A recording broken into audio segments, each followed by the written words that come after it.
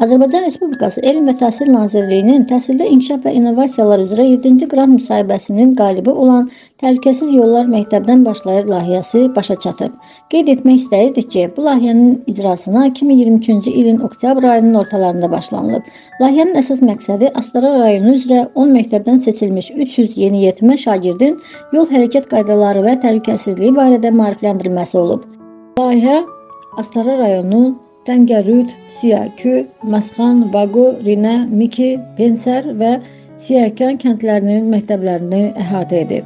Layihənin rəhbəri Astara rayonu Səməd Vurğun adına Təngərüd kənd orta məktəbinin tarix müəllimi Vəfa Hüseynovadır.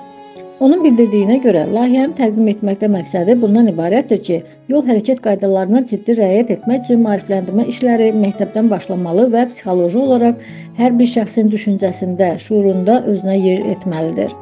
Yalnız bu vasitə ilə çox saylı yol qəzalarının qarşısını almaq mümkündür.